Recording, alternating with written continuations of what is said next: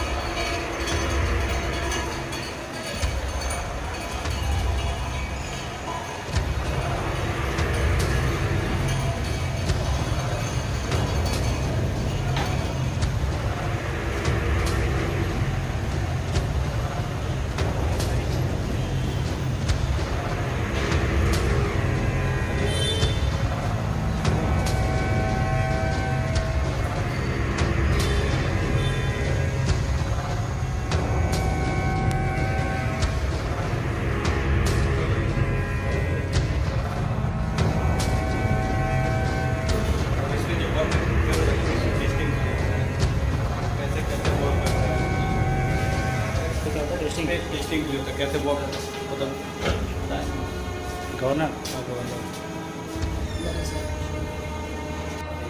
ये fuel supply के लिए सप्लाई फ्यूल सप्लाई के लिए फ्यूल सप्लाई के लिए बन बन के तैयार है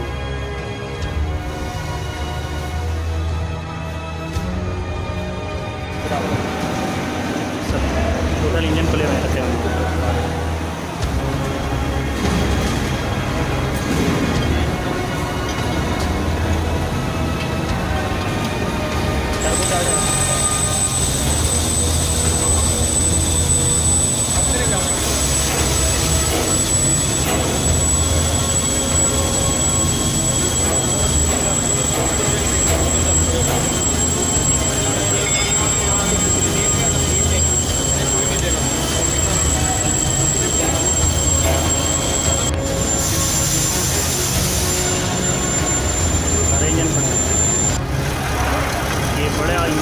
और ये टर्बो चार्जर इसका आप देख रहे हैं कितना फ़र्क है। पिछला इंजन जो दिखाया था उसमें टर्बो चार्जर छोटे थे।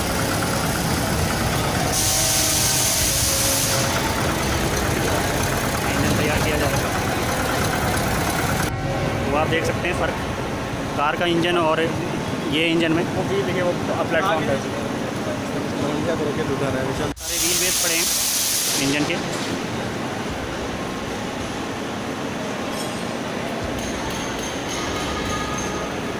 फिट होकर इसके पे बैठाया जाएगा फिर।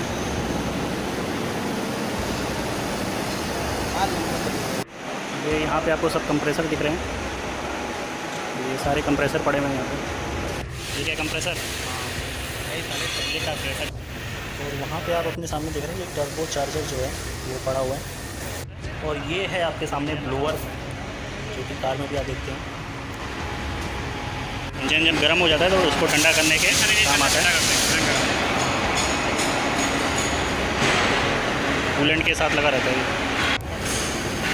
ये। ओवन है यहाँ पे। किसी चीज़ को गर्म करने के लिए इसमें डाला जाता है। इधर बंद कर दीजिएगा ये मोटर है। पूरी बाइंडिंग लगी हुई है किस तरह से।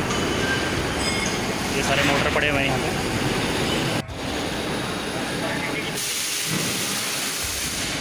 डाला जा रहा है। अभी ये क्रेन से ले जाया गया है। अब ओवन में डाला जाएगा इसको। हीटअप करने के लिए। कितना देर के लिए। खूब। चालीस लोग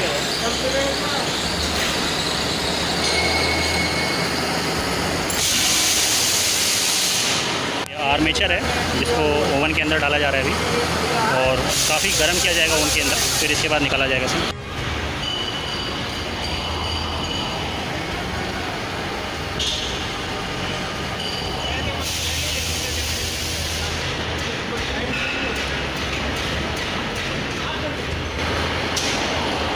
आठ घंटे के लिए अच्छा आठ घंटे के लिए हीट किया जाएगा इसमें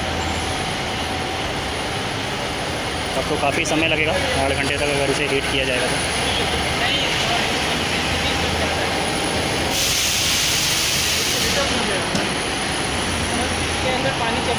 इसके अंदर पानी चली गई पानी इसलिए चला हीटर गया। किया जा रहा है हाँ, वो यार वन देखो। डिग्री आ जा पाँच सौ से ऊपर होगी तभी लगेगी मुझे। इंजन का आगे का खोखा पड़ा। है